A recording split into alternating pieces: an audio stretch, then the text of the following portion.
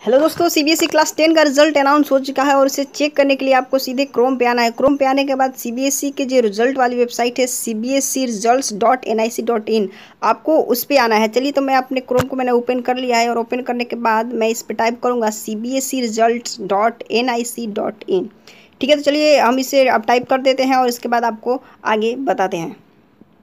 तो देखिए, मैंने C B S result dot N I C dot in type कर दिया। टाइप करने के बाद आपको सीधी उस वेबसाइट पर ले जाया जाएगा और सबसे ऊपर तीन लिंक दिया होगा, यानी कि आज ही जो है लिंक को एक्टिव कर दिया गया है।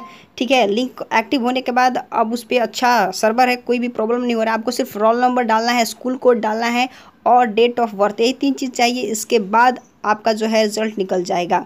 तो चलिए, हम यहाँ पे देखिए लिंक वन पे हम क्लिक कर देते हैं। ठीक है, यहाँ पे एक्टिव है लिंक यहाँ पे आप साइड में देख सकते हैं। लिंक पे क्लिक करने के बाद मुझे तीन चीज़ें भरने को कहा जा रहा है। तो चलिए हम यहाँ पे डॉक्यूमेंट्स निकाल लेते हैं। मेरे पास जो भी तीन चीज़ें हैं।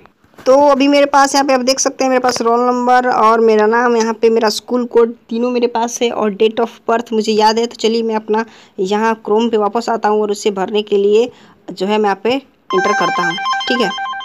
जैसे ही मैं यहाँ पे इंटर करूँगा अपना रोल नंबर जो मेरा रोल नंबर मैंने यहाँ पे देखा था, ठीक है इंटर करने के बाद मैं रोल नंबर इंटर कर दूँगा और उसके बाद मैं स्कूल कोड जो है, मैं अपना स्कूल कोड डाल दूँगा। यहाँ पे मैंने स्कूल कोड भी डाल दिया और उसके बाद मैं अपने डेट ऑफ़ बर्थ को यहाँ पे इंटर कर दूँगा। आप एकदम बिल्कुल सही से इंटर कीजिएगा और बिल्कुल आप रिज़ल्ट आने में कोई भी दिक्कत नहीं आने वाली है।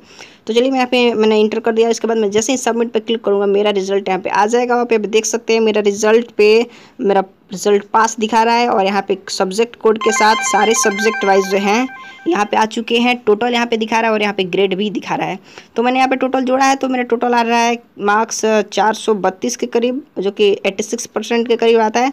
तो आप इस तरह से अपना रिज़ल्ट देख सकते हैं। यदि कोई भी यदि आपको परेशानी हो रही है, अगर आप में आरएल वगैरह लिख रहा है तो वही रिज़ल्ट लेटर वाला इशू हो सकता है। दिक्कत नहीं होने वाला, आप सही से इन्फॉर्मेशन नीटर कीजिए आपका रिज़ल्ट आपके सामने होगा। Friends thanks for watching